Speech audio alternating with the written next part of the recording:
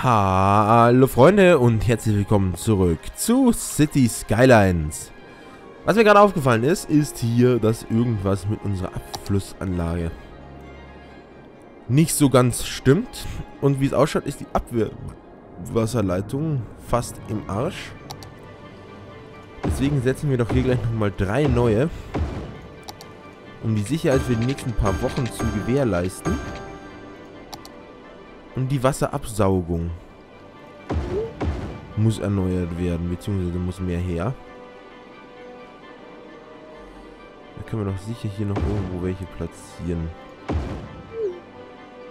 So, hier. Jetzt haben wir noch ein paar. Die schließen sich hier an. Die schließen sich am ganz normalen System an. Und jetzt müssten die nur noch hochstarten, dann müsste das funktionieren, oder? Einmal starten, bitte. Abwasserklärung ist auch wieder im grünen Bereich. So, jetzt ist das Problem schon mal geklärt. Da ist irgendwie Strom. Ach, weil er das unten am Fuß braucht und wir dann nichts haben. So. Wie schaut es mit unserem anderen Turm aus? Der hat genug. Und der andere hier, der hat auch. Gut. Das ist doch schon mal perfekt. Industrie? Wir können hier so viel abreißen, rein theoretisch an Industrie. Die Frage ist, ob man nicht mal hier so ein gewerbemäßiges Viertel baut.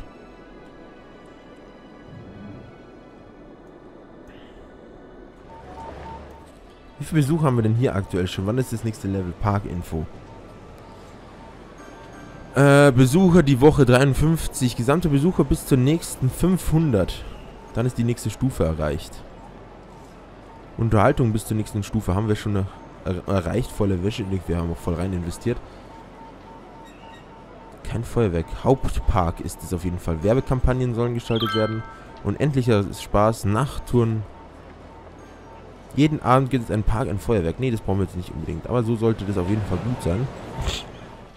Das ist ein National Park of our, of our, our City hier. Das nutzen jetzt sogar schon voll viele Menschen. Und der ist jetzt auch noch nicht mal klein. Also der, die Route bis nach oben ist ja schon ewig lang. Aber du hast halt von da oben, wenn du hier zum Beispiel sitzt,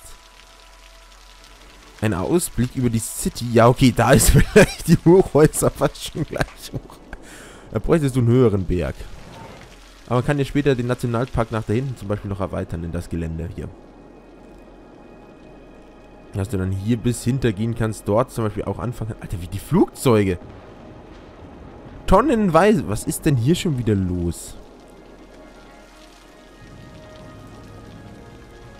Sollte ich das vielleicht alles in ein normales Straßensystem umwandeln? Aber dann staut sich doch das auch überall, oder? Was ist denn jetzt schon wieder los? Ähm. Das ist jetzt eine gute Frage. Wandle ich das alles um? Aber wir können zum Beispiel mal zum Testen einfach wird die breiter? Ne, die wird nicht breiter. Hier draußen eine vierspurige Straße machen. Und schauen, wie der Verkehr darauf reagiert, wenn ich hier ein paar ein bisschen was zurücksitze, sozusagen.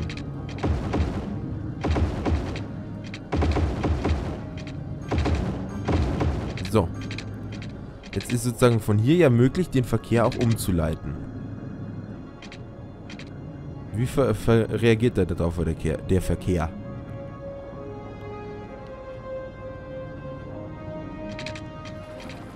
Mit massivem Stau.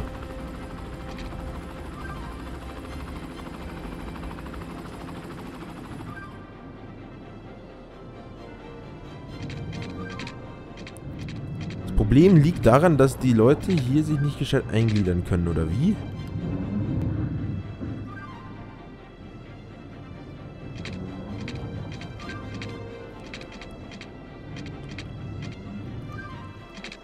Staut sich hier schon nach? Hey.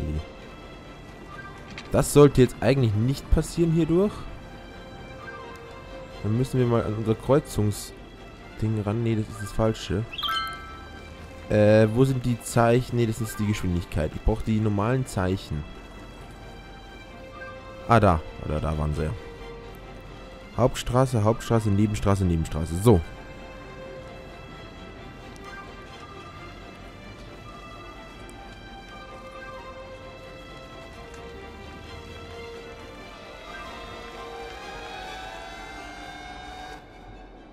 Okay, das ist jetzt vielleicht Kacke.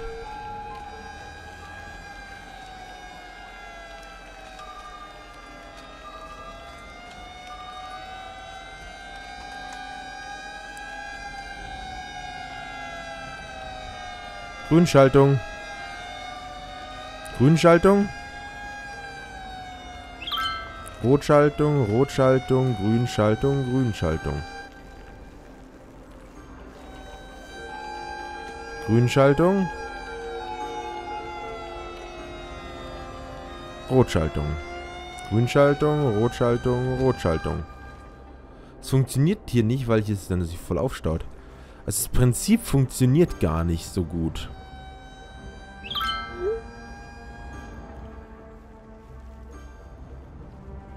Aussichtsplattform freigeschaltet. Yes. Vor allem, weil halt ihr hier auch dazu... Oh, weil da der Zugverkehr ist. Das macht es natürlich um einiges schwieriger. Das macht es um einiges schwieriger, weil natürlich hier das wie eine Hauptstraße fast ist. Was ist, wenn wir hier einen Kreisel einbauen? Das könnte man doch eigentlich mal probieren, oder? Wir reißen da das komplette Stück ab.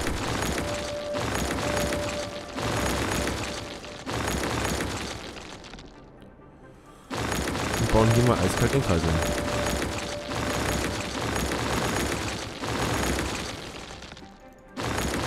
nachher notfalls alles wieder anpacken. Das ist jetzt ziemlich das große Problem. So. Aber wir müssen halt irgendwie auch schauen, dass wir den Verkehr einigermaßen in die Pötte kriegen. So. Nehmen jetzt mal so eine Billigstraße hier. Eins raussetzen wird wahrscheinlich ein bisschen eng, ne? Dann setze ich zwei. So.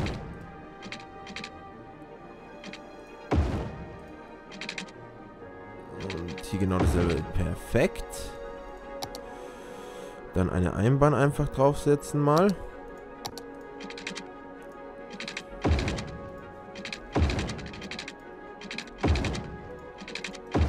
Genau.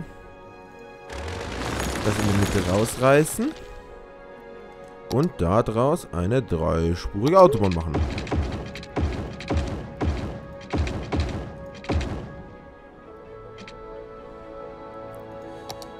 Dann brauchen wir wieder die typischen Straßen.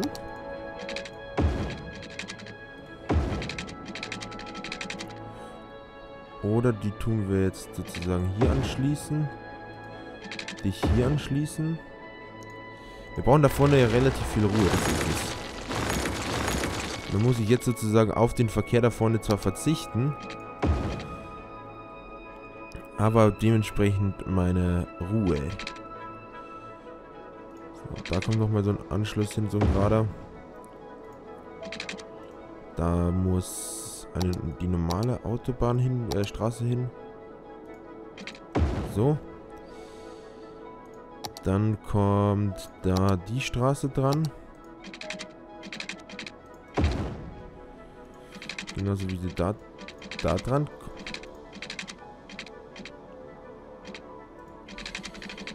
muss ich auch noch mal ein bisschen umbauen. So. Abgerissen, abgeschissen, würde ich mal sagen. So. Und hier oben kommt die Straße dran. War eine ganz simple, einfache Straße, ne? Ja. So, dann brauchen wir jetzt hier nochmal die Straßen.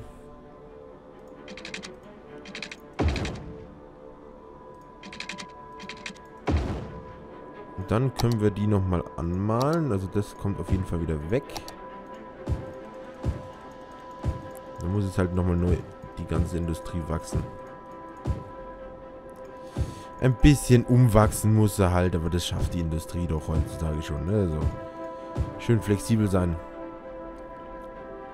Oh, mein Auge. Mein Auge. Schaut drauf, wie das jetzt darauf reagiert. Oh, da ist noch ein Weg. Weg.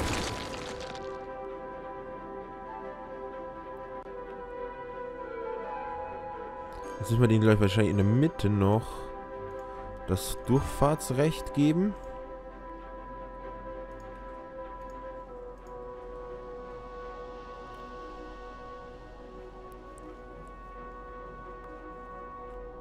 Schauen wir, wie gut das funktioniert, wenn ich da drüben das aktiv lasse.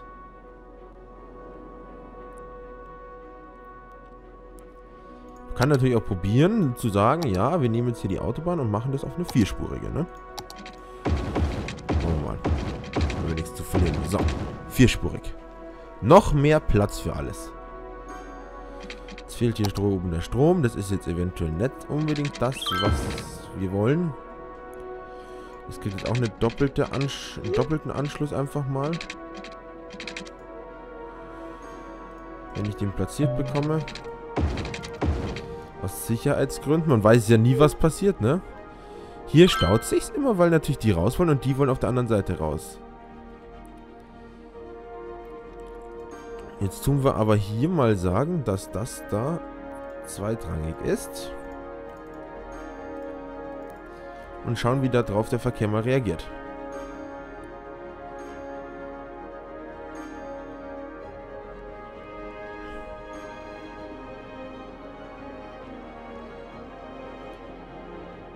Ja, das ist auf jeden Fall schon mal gut.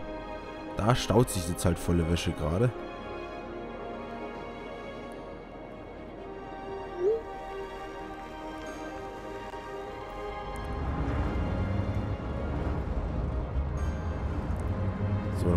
Dem mal hier, er darf hier nur so.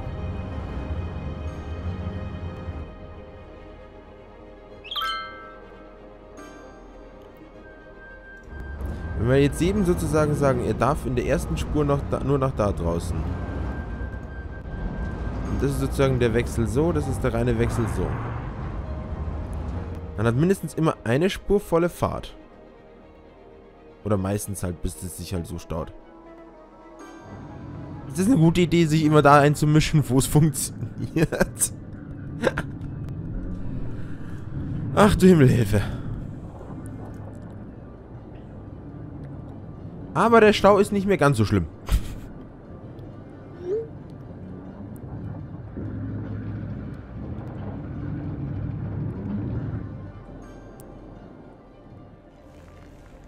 Das ist halt das Problem hier, dass die dann alle hier unbedingt drüber wollen.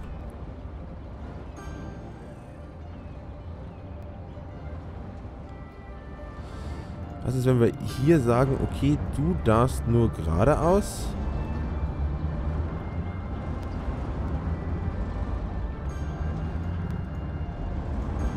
Und die Spur darf so weit wechseln und die Spur darf so weit wechseln. Und die Spur darf so wechseln. Es müsste doch einigermaßen Sinn ergeben, oder?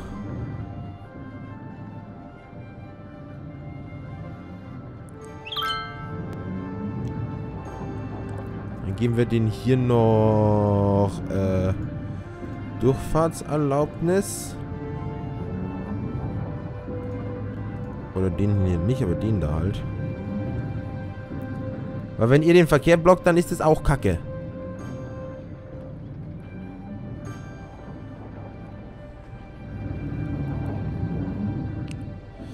Wie schaut es mit unserem... Alter, das funktioniert. Ich bin erstaunt.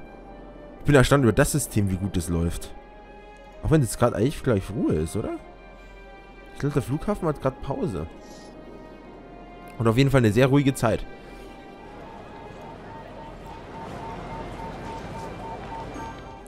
Äh, hier schaut es auch ganz gut aus. Der Park hat Besucher. Wie viele? Info. Einnahmen macht er 500 aktuell. Aktivität 900. Besucher diese Woche 42. Okay, das können wir aber bestimmt noch ändern. Aber Leute, das würde ich sagen, machen wir in der nächsten Folge. Ich hoffe, euch hat es gefallen. Wenn ja, lasst unbedingt einen Daumen nach oben da. Abonniert, wenn ihr noch nicht habt. Und wir sehen uns in der nächsten Folge wieder. Ciao!